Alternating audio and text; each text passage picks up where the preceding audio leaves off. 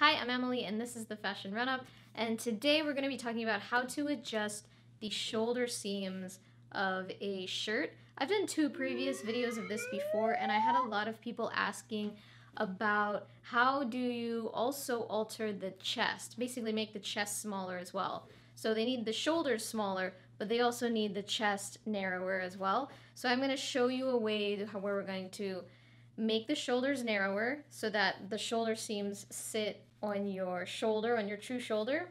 And we're also to like narrow the chest in the same, basically in the same seam that we're making. So this video is basically all about how to adjust the shoulder seams of a shirt. I'm to use a men's shirt, so it's also basically altering a men's shirt to fit a woman. It's also going to be how to alter a shirt without cutting it. So we're not to cut the shirt at all. So if you don't like the alteration that you made, you can just take out the seams and the shirt's going to be back to normal. This is sort of my preferred way of fixing garments in general. I don't like to cut them just in case I want to go back to the original garment. So we're gonna uh, basically adjust a shirt that's too big, focusing on the, uh, sh the shoulders and the chest width to make those fit really well. If you're excited to see this video, give it a like and don't forget to subscribe and hit the little bell icon to be notified when new videos come out every week, more or less. I'm aiming for Thursdays around noon, so watch for new videos then. You can also follow me on Instagram at Emily Keller CO, where I post lots of other fun fashion related stuff, just in more picture form. All right, let's get started. So this is the shirt that we're going to alter. I'm gonna start with just this shoulder here down into the chest on the right side of the garment. So basically what I'm going to do, I already marked a pin right here. This pin is going to be where I stop my seam that I'm gonna take in. So I think I'm just gonna leave kind of like a little dart tuck right there and then it's gonna just flare out into the original fabric or the original width. So this is my natural waist. I marked it there while I was trying on the shirt and um, then it's just gonna flare out into the hip area as this is gonna stay the same width down here. It's just going to be narrow, about one inch narrower on the flat, one inch narrower through, from the shoulder down through here, down through the chest. So the chest circumference is actually going to end up being four inches smaller because it's on the round. But on the flat, it's just going to be two inches narrower, one inch here, one inch here, but four inches total. And here on the shoulder, it's going to be one inch on one shoulder, one inch on the other shoulder. And the reason I'm only doing one inch is because we have a bit of a pocket limitation.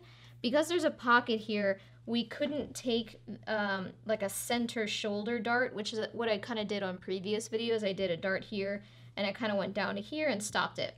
And that's kind of how I narrowed the shoulder on the front and on the back. Put a dart down the back and then you kind of stop it there. But here, because we're also narrowing the chest, we need to take that seam, whatever seam we make or dart that we make, needs to go much lower.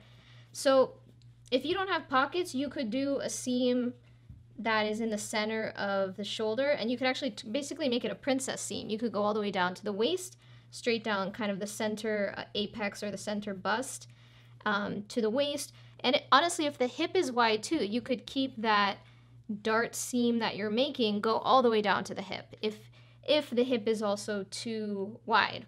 For me on this shirt, the hip is not too wide, uh, so that's why I'm stopping. I'm gonna stop it right here and just have a little dart tuck ending right there.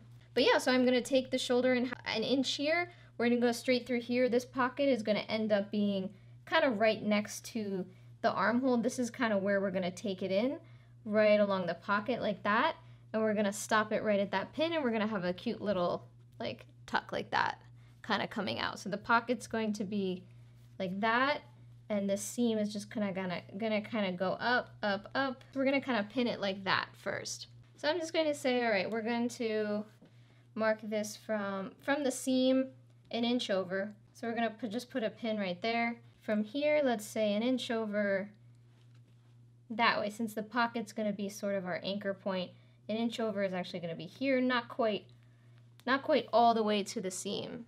So that's going to be an inch over, that's an inch over. So our inches from here to here, our inches from here to here, and then, let's see, same thing actually down here. Let's mark another one at the bottom of the pocket here, in inches from there to there. Okay, so an inch is from here to here. That's gonna get hidden underneath. And then we're just gonna stop it about at this level point. So yeah, that works. We just marked it there. That's just kind of our vertical point, wherever that is. So we can kind of follow the grain, I would say about here. If I follow the grain, let's let's stop it at that point. Okay. Okay, good. So I'm just gonna kind of fold it, maybe fold it under and then re re-pin it uh, folded. We're gonna go on the inside and just kind of start pinning how we're gonna fold these, how we're gonna sew it. And actually that's just the front. We also need to do this to the back. And I'm going to look at the front and I'm going to mark the same positions as we marked on the front on the back. About two, two and a half inches, and then we go over a quarter of an inch. So let's try that. Two and a half inches, two and a half here, then over a quarter of an inch is about here. And then we'll do one inch over from that. That's about here. Okay, so those are our two points from the seam about two and a half inches down, two and a half inches down, and about two inches in. So let's mark that same thing on the back. Two, two and a half inches down, we're about there, and then two inches in straight. I'm just kind of following straight on the grain to know where I'm going. We'll go right there.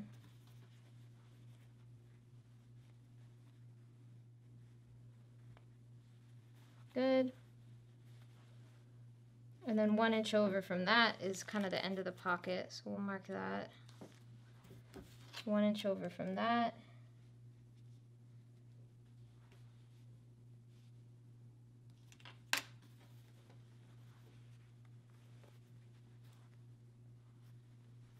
Okay, that's our one inch dart here. And then we're stopping it. We'll stop at the same place as the front because again, that's my natural waistline one, two, three, four inches below the bottom seam, two and three quarter inches over, four inches down, two and three quarter inches over.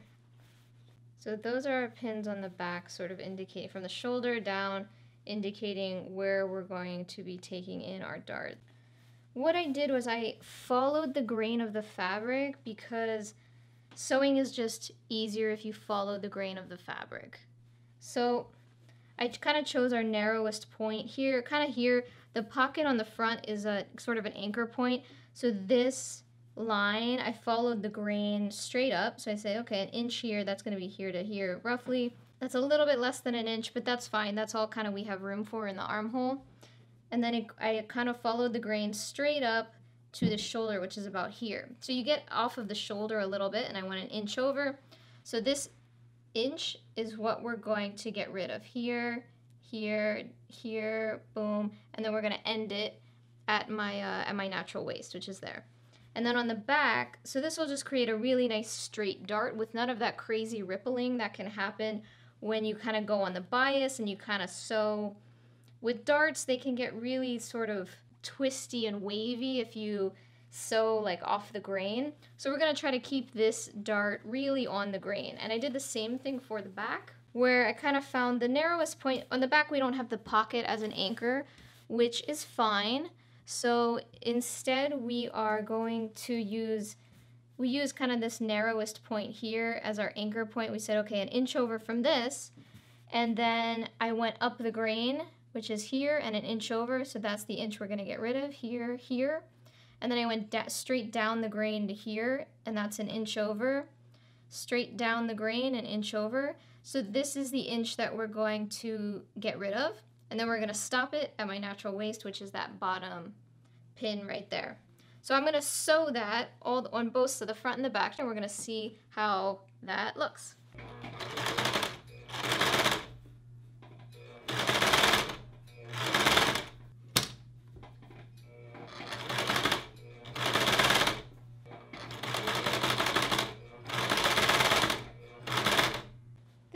Finished shirt. You can see here the seam that I made that kind of goes all over the shoulder. It goes down the side of the pocket here.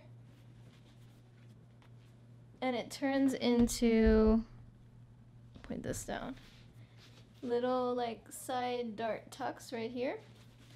So it flares out where the hip is, so the hip stays the same width, but we took in the chest and we took in the shoulders. So now the shoulders fit a lot better where my shoulders are. Yeah, and then you just get that little design detail, like these little um, dart tucks underneath. That's the back. Yeah, that's basically, you can kind of see the seam down. From here it goes down. the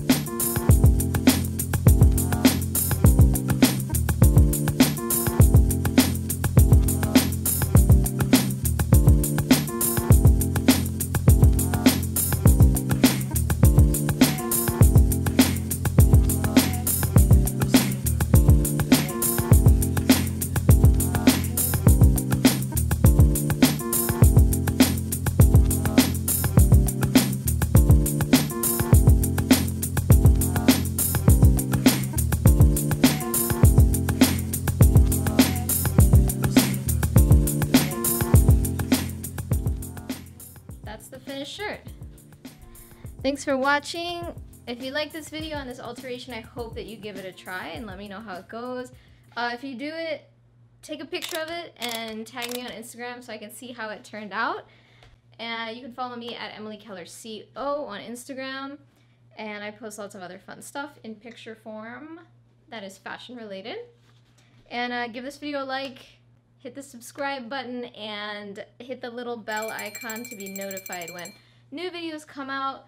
Hopefully every week, every like Thursday around noon is what I'm shooting for, so look for videos then. Every weekend, you know, if you watch videos on the weekend, you should have a new one to watch every weekend. Thanks for watching and I hope you like this DIY shoulder and chest width alteration with no cutting. Thanks.